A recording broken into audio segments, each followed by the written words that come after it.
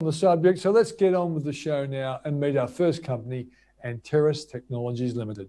Thanks, Peter. Um, good morning, everybody, ladies and gentlemen. Thanks for uh, taking the time to hear our presentation this morning. My name is Wayne Paterson. I'm the CEO of Anteris. Um, we're a company that is in a very exciting space at the moment, uh, very big market potential and uh, very rapid growth. The space we're in uh, is the aortic uh, heart valve space. We are, we make valves for uh, the aortic heart valve replacement. So our product is called DurAVR. It's made uh, with two different technologies that I want to bring your attention to today. But we're in the business of making the most durable and clinically superior heart valve. Both of those are big claims. I'll prove to you and show you why uh, we can make them. So we're in a space, an industry called the structural heart industry. It's, uh, it's, it's the name referred to for these kind of products. And Anteris brings two distinct technologies to this space, ADAPT and DurAVR. Both of these technologies, in my opinion, create um, an unassailable moat around the company. ADAPT, for example, took 20 years to develop. So there is a fairly big uh, gap between uh, getting to where we are and trying to enter into this market with what we have. The space that we're competing in is about 10 billion US dollars uh, by 2025. It's, it's growing dramatically at 15, 16% compound annual. So let me talk about ADAPT. ADAPT is an anti-calcification treatment uh, that we use to treat the material that we make the heart valve from. Now, calcium is an extremely important aspect of this story. The disease that we treat, aortic stenosis, is a function of your native valve calcifying heavily. That's part of the disease. So the material that, that deflects or rejects calcium is really important in this space. Uh, ADAPT, however, is not new. We used it in other uh, areas prior to this, before we made heart valves from it. Uh, which is great. It's not experimental. It's FDA approved, in fact. So we're halfway there on the FDA side. Uh, it's been used in 20,000 patients globally, so biocompatibility is proven. Now, we took the ADAPT material and we turned it into a aortic valve, and the valve is called DurAVR, basically stands for durable uh, aortic valve replacement. Um, this in itself is also quite a unique and novel technology. It is the only 3D single piece aortic valve in the market for the treatment of aortic stenosis. The other valves are quite complex and they're manufacturing three pieces of tissue. Uh, and by the way, you're born with a single piece 3D valve, not three pieces of tissue. So it is much more anatomically correct. Um, it does have unique properties by itself. It gives better hemodynamics. Uh, and we've had this now in preclinical and clinical studies, and I'll show you what that looks like. So let's talk a little bit about what this disease is. The disease is aortic stenosis. Now, when you are diagnosed with severe aortic stenosis, it means the valve in your heart is heavily calcified. It builds up calcium, and the opening of that valve narrows uh, uh, significantly, and therefore the blood pressures and everything else goes up. So those leaflets tend to slow down, and eventually they have to replace that valve, or it's uh, it's fatal. Now there are a couple of ways they they do that. Uh, up until the last six or seven years, the only way to do this was to basically uh, crack open a patient's chest, called a thoracotomy. Um, as you can see here on this diagram on the left, go into that patient's uh, chest, put the heart on bypass, stop the heart, go in there and replace that valve. Now, this procedure takes about four hours, up to, up to four hours. It can take you about six weeks to recover. The problem with this procedure is that it's got a high risk of mortality, uh, death for patients who maybe are above 80, 85 years of age. So it's not suitable for those older patients. So they didn't really have a solution. Now, to answer that problem, uh, two companies came out with products into the market six, seven years ago where they managed to take that same valve, essentially the same valve, put it on a catheter, rather than cracking your chest open, they would insert that catheter into your femoral artery down near your groin, drive the catheter way up over your aorta, as you can see there, drop the valve in place and remove the catheter. So it's a lot less invasive, of course, not cracking your chest. Now, that procedure can take 25 to 40 minutes and you're out of hospital the next day. So that in itself uh, is, is quite a dramatic breakthrough, and patients suddenly have had alternatives. So because TAVR was originally used, in uh, patients who are greater than 80 years, of age. The valves were never really designed to go uh, any real distance in time. Uh, in this case, the valve and the patient probably had the, about, the, about the same lifespan. Now, durability became a real issue. That is, heart valves that last longer.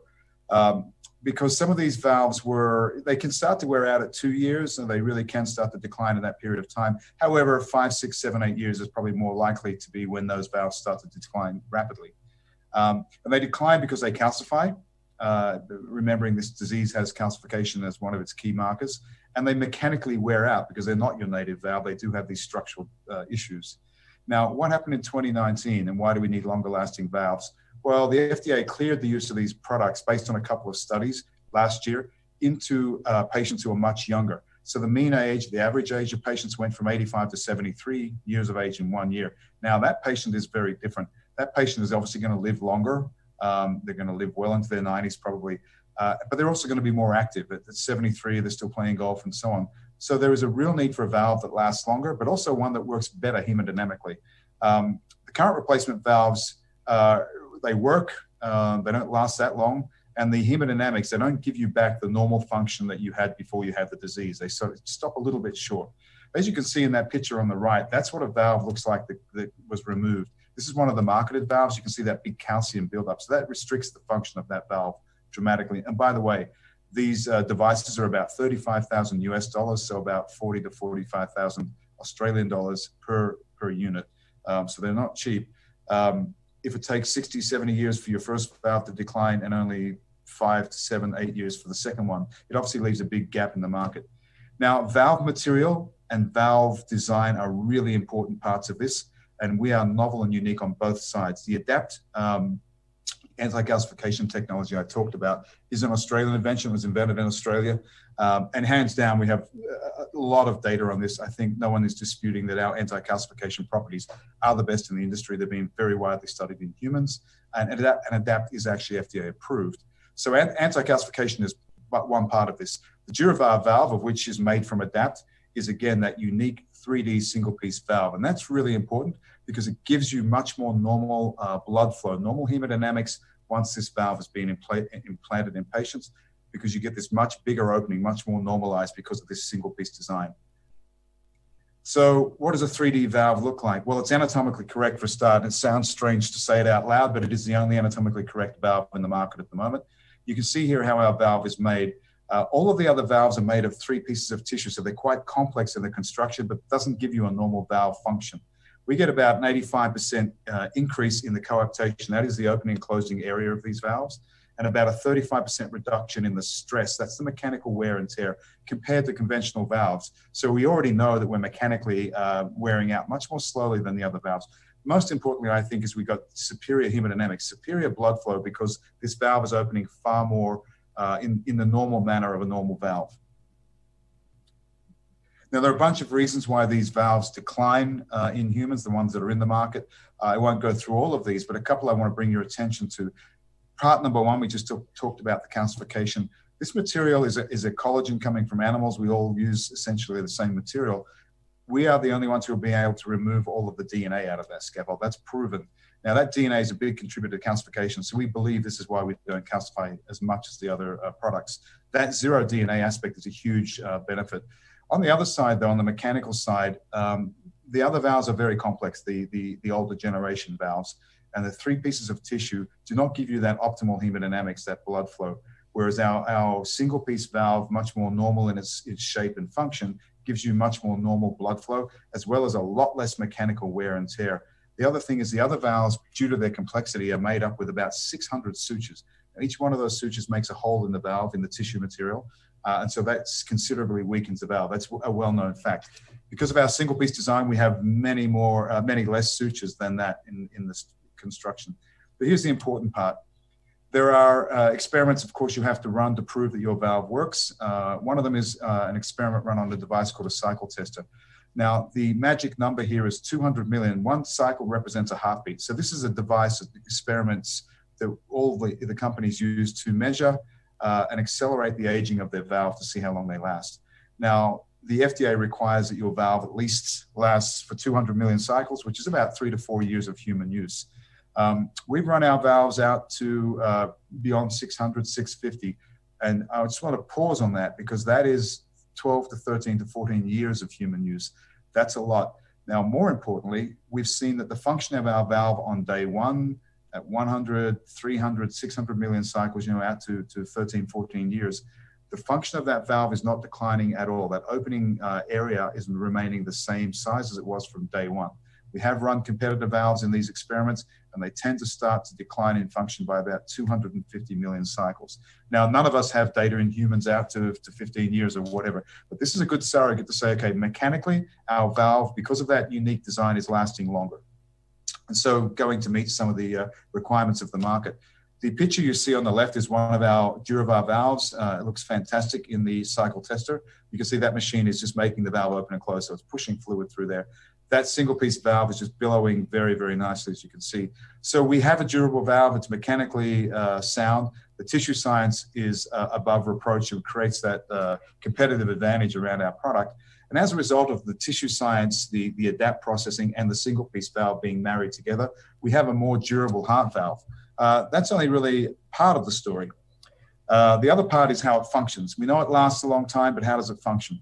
So we have gone into a human study um, in Europe uh, and with, with an air in a center where they've done a lot of early uh, valve work. Professor Maris is in fact a preeminent uh, professor in this space uh, and very well published and very well known internationally for this kind of research. The echo you can see here on the right is our, one of our patients. That's a really nice echo showing the DurAVR valve uh, in situ there, uh, working very nicely. But what I wanted to talk about here is the normal hemodynamics. When you present to a doctor with severe aortic stenosis, you have a very high blood pressure, millimeters of mercury, around about 40 or 50. Now, when they replace your valve with the current valves, it'll bring you down to about 10 to 15. Um, normal is five or six. 10 to 15 is okay. But if you're younger, you want normal blood flow. You can see here we've got the results from patient number one from this study. His blood pressure, his mean gradient in millimeters of mercury is five. It's right in the normal range. Uh, and the opening area in the normal range is about three, and we land right uh, in that zone as well. Now, we took an average of patients just to give some context uh, for non medical uh, observers of this data. And in the center where Professor Merris did these uh, patients, he took an average of patients, of 1,400 patients who had received commercial valves, currently available valves. And you can see there the average blood pressure is about 11 and the average opening is about 1.9 centimeters squared. So far uh, above the normal range. Certainly you can live and you function, but when you compare that to DurAVR, you see a much more normal profile hemodynamically. And in fact, Professor Merris went as far to say publicly that he has not seen these kind of results that he has seen with our valve from commercially available valves before. We know that because we have a lot of clinical data from all the other valves and we talk to a lot of doctors. That's a big step forward to be able to provide that functional cure uh, approach with a valve that also lasts probably the life of the patient. Now, Anteris uh, is you know, based in Australia. All of the inventions I'm talking about now are Australian, and we have our factory where we produce the adapt material, we manufacture our valves uh, in Perth. Uh, it's of course FDA approved and, and regulatory approved, uh, and it's a medical grade facility. That's important in this story because a lot of small companies, of course, outsource this kind of thing, which is risky and costly. We don't. We own the facility. Um, we're on the pathway to going to FDA. In fact, the news flow from here is really uh, extraordinary. We are in dialogue with the FDA uh, at the moment, have been for many weeks. We will be uh, submitting for our FDA study here in the United States uh, around about Q1 with a view that that study will commence in Q3. That'll be a huge catalyst for the stock, obviously. Uh, those first couple of patients will be hugely important. We expect to see the same results we saw in the European study, which is that we are getting patients with a functional cure. So right off the table, they're getting very normal results. There is a lot of IP around our products, both the ADAPT treatment, the DurAVR valve itself, and the catheter that deploys that valve, up to 80 patents at the moment and, and expanding very quickly. So there's a lot of protection around our IP. We're supported by an advisory board of TAVR doctors in the United States here, and we're expanding this group. Now, just a word on these doctors, um, just so we're understanding how, um, how relevant our science is. These doctors represent some of the top TAVR doctors in the world. They're on the podiums, they're giving presentations medically, they're well known to, to some of the other big companies, um, and they're both clinically and academically uh, extremely uh, important. Now, some of them here, Dr. Kapadia at Cleveland Clinic is director of Cleveland. Cleveland is, in fact, you know, the uh, the biggest cardiac center in the world, uh, so it's critically important. Now, small companies don't get to have advisory boards like this. The reason these gentlemen are with us and they have been working with us for a couple of years regularly uh, is because they believe the science and technology is is revolutionary. These guys are all doing, you know, upwards of five, six hundred TAVRs in their centers per year, so they do a lot of TAVR procedures. Um, there are many here who are just very well known, and I, I would say to you if you want to Google some of these names and find out what they, who they are and what they do, would be uh, very valuable. Now, the market space is huge. Um, there's only two players in the TAVR space. Uh, one of them has 60% roughly, the other one has 40% market share. It is therefore not a huge leap of faith to project that you could take significant numbers, 10, 20, 30% market share if you have a clinically superior product, which we believe we do based on the data that we have so far. Now, just some numbers there. If we got 10% of the US market, uh, which is, I think, very modest, it's 600 million US dollars, 20%, 1.2 billion, 1.8 billion at 30. These are big, big numbers uh, with only a couple of players. So uh, there is a lot of potential for this product, um, and only potential because this product is so dramatically different to what's in the market. Now, um, as a, a, validation of that, this week, uh, just this week, we were awarded the best innovation, uh, and, and our product was presented by Professor Meris at PCR London Valves. Now, this is the most important meeting of the year globally uh, in the cardiac space for this kind of uh, product it was a competitive process. So to be awarded the best innovation above all and every other person who entered their, every company who entered their product is a huge validation of the uh, of the scale of our technology and the and the relevance of our technology. Uh, there's a lot of catalysts coming through. Uh, as I said earlier, we've got the, the human study still rolling in Europe. Results come out. Uh, we are having other studies where we've got readouts. Obviously, the FDA applications going through uh, and all of those things coming to fruition during the course of next year. Uh, so there's a lot going on with this company. But I think bottom line is the DurAVR valve lasts longer and it works better. Uh, we've proven durability. You know, the calcification stuff is very clear, less mechanical wear and tear that affects these other valves. But we have better outcomes. We have lower blood pressures uh, and bigger openings. The EOA is the opening area. Uh, because this is a unique single piece design valve. So it's very different to what's in the market at the moment, and that's why we see these results.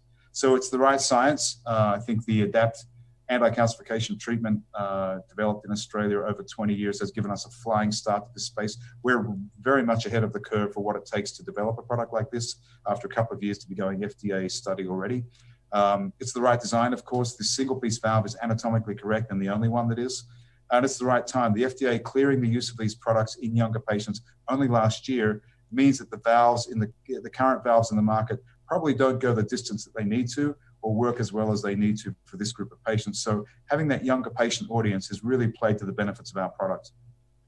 So on that note, I'd like to complete my presentation and thank you very much for your attention. Thanks, Wayne. Let's uh, remind those who are watching that you can ask a question. Uh, the icon at the bottom of your screen, you'll see a Q&A. That's the way you can fire a question into Wayne. I'll kick off, Wayne. Um, really interesting presentation. And like a lot of people watching this, I think the first thing they might do is go and look at the share price. And You guys were once close to 90 cents and now you're around three or four cents. What has happened to the market's appreciation of what you've done and what lies out there? Yeah, thanks, Peter. Uh, and that's a very good question. The we and we did consolidate the stock, obviously. So you're talking in pre-consolidation numbers, but I think this company, like so many of the, I guess, the small cap healthcare companies, uh, find a, a, path through the market. Now, originally, this company was not a cardiac valve company. Uh, in fact, we've been doing that for a couple of years.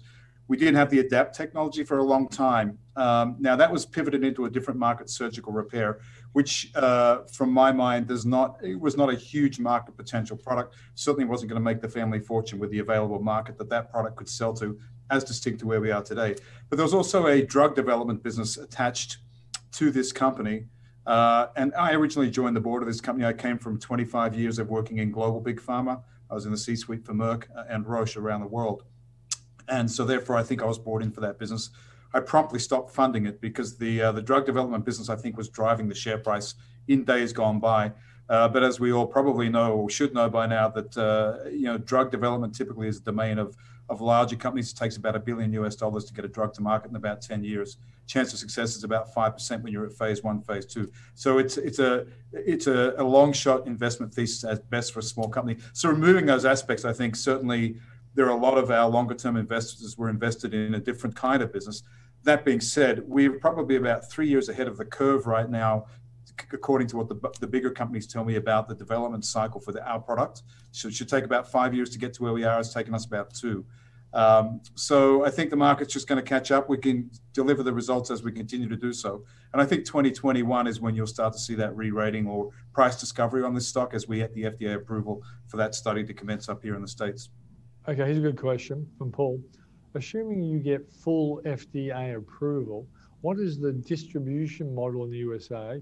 Realistically, how many months slash years before you earn revenue? So I think the, the, the quick answer to that is partnerships. We are uh, there are four big device companies. Uh, they're all headquartered here in Minneapolis. It's Device Central, so the global headquarters of the companies are all here. Uh, we know them at the C-suite; they know us.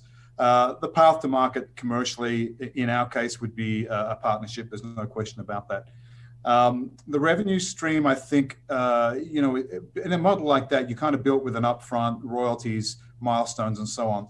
Now, the the, the actual FDA approval of this product, uh, we would be somewhere in the in the range of late 2023, 2024 uh, for approval. The revenues could certainly come before that, and I, I do believe a deal with one of the majors who we are regularly talking to would certainly come along before that as well.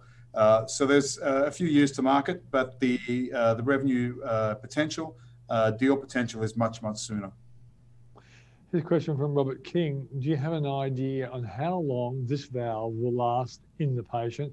As long as the 13 or 15 years you've tested, will the calcification return even with the technology you have?